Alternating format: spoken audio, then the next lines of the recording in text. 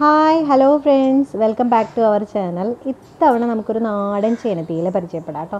വളരെ സ്വാദിഷ്ടമായിട്ടുള്ളൊരു ചേനത്തീയിലാണ്. ഈ ചേനത്തീയിൽ മതി കേട്ടോ ചോറ് കഴിക്കാനായിട്ട് നല്ല ടേസ്റ്റാണ്. എല്ലാവരും ട്രൈ ചെയ്ത് നോക്കണം. അപ്പോൾ ഈ സിമ്പിളായിട്ടുള്ള ചേനത്തീയിൽ എങ്ങനെയാണ് റെഡിയാക്കണമെന്ന് നമുക്ക് പെട്ടെന്ന് നോക്കിയിട്ട് വരാം കേട്ടോ.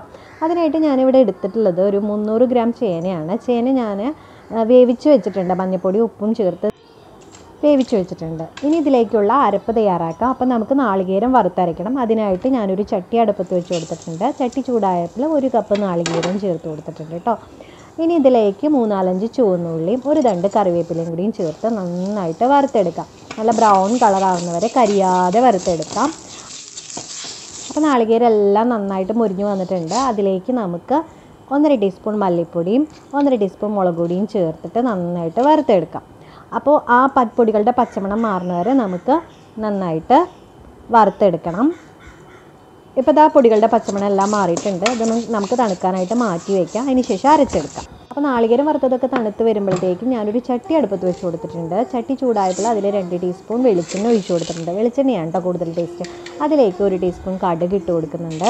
അപ്പോൾ കടുകെല്ലാം പൊട്ടി വരുമ്പോൾ അഞ്ചെട്ട് ഉലുവ ഇട്ട് കൊടുക്കാം. പിന്നെ രണ്ട് വറ്റൽമുളക് ചേർത്ത് കൊടുക്കുക. ഒരു രണ്ട് കറിവേപ്പിലയും ചേർത്ത് കൊടുത്ത് നന്നായിട്ട് മൂപ്പിച്ചെടുക്കാം.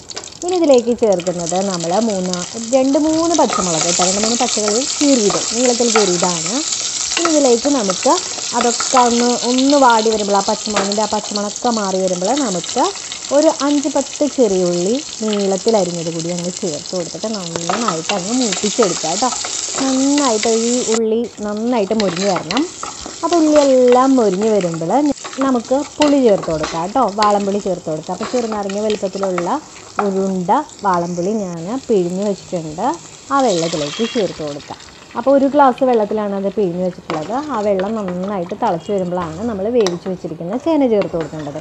അപ്പോൾ ചേന നമുക്ക് വേണമെന്നുണ്ടെങ്കിൽ കുക്കറിൽ വേവിക്കാം. അല്ലെങ്കിൽ ഒരു പാത്രത്തിൽ മഞ്ഞൾപ്പൊടി ഉപ്പിട്ട് വേവിക്കാം. അധികം വെന്ത് പോകരുത് കേട്ടോ ചേന. അപ്പോൾ ആ പുളിവെള്ളം എല്ലാം തിളച്ച് വരുമ്പോൾ ഞാൻ ചേന ചേർത്ത് കൊടുക്കുന്നുണ്ട്. ഇനി ഇത് ഈ പുളിയും എല്ലാം ഇതിലേക്ക് പിടിക്കട്ടെ. നമ്മുടെ ചേനയിലേക്ക് നല്ലോണം പിടിക്കട്ടെ കേട്ടോ. അപ്പോൾ അത് ഇതെല്ലാം കൂടി ഒന്ന് തിളച്ച് വരുമ്പോഴാണ് നമ്മൾ അരപ്പ് ചേർത്ത് കൊടുക്കേണ്ടത് അപ്പം ഞാൻ അതിന്റെ ഇടയിൽ പോയിട്ട് അരച്ച് വെച്ചിട്ടുണ്ടായിരുന്നു കേട്ടോ അരപ്പ് അരച്ച് വെച്ചിട്ടുണ്ടായിരുന്നു. അപ്പോൾ ആ അരപ്പ് നമ്മൾ ഇതിലേക്ക് അങ്ങ് ചേർത്ത് കൊടുക്കുക ഇനി അധികം തിളയ്ക്കൊന്നും വേണ്ട. ഇതൊന്ന് കുറുകി വരുമ്പോൾ നമുക്ക് ഫ്ലെയിം ഓഫ് ചെയ്യാം കേട്ടോ അപ്പോൾ അരപ്പും ചേർത്ത് കൊടുത്തിട്ട് ഒന്ന് തിളക്കട്ടെ കേട്ടോ അവിടെ കിടന്നിട്ട്. നമ്മുടെ തീയിൽ അങ്ങ് തിളക്കട്ടെ.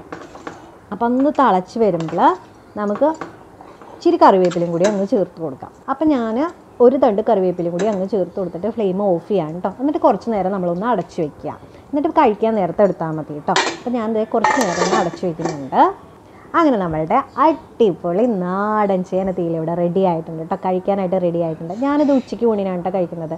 അപ്പോൾ ഇതുപോലെ നിങ്ങൾ ചേനത്തിയിൽ ഉണ്ടാക്കി നോക്കിയിട്ടില്ലെങ്കിൽ ഉണ്ടാക്കി നോക്കുക കേട്ടോ എന്നിട്ട് എക്സ്പീരിയൻസ് ഒക്കെ നമ്മളോട് ഷെയർ ചെയ്യുക. അപ്പോൾ ഇന്നത്തെ എന്റെ ഈ വീഡിയോ ഇഷ്ടപ്പെട്ടിട്ടുണ്ടെന്ന് വിചാരിക്കുന്നു. ഇഷ്ടപ്പെട്ടിട്ടുണ്ടെങ്കിൽ തീർച്ചയായിട്ടും നിങ്ങൾ ലൈക്ക് ചെയ്യുക അറിയാത്തവർക്കായിട്ട് ഷെയർ ചെയ്യുക.